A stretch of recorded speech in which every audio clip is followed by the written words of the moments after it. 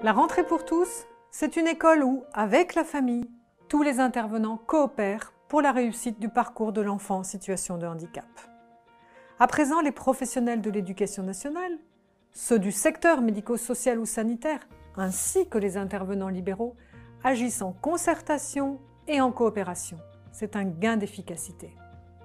Cette année, dans chaque département, s'il existe encore des problèmes, une commission spécifique étudie une solution de scolarisation pour chaque élève en situation de handicap. Là aussi, l'objectif est d'apporter des solutions concrètes et rapides aux familles. La rentrée, c'est aussi celle de la simplification. Par exemple, les droits arrivés à échéance durant la crise sanitaire sont prorogés.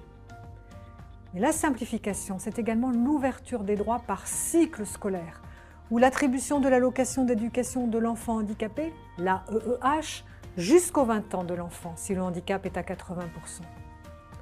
L'objectif de scolarisation de 100% d'élèves en situation de handicap est au cœur des politiques publiques. Nous continuons de renforcer les moyens pour l'atteindre.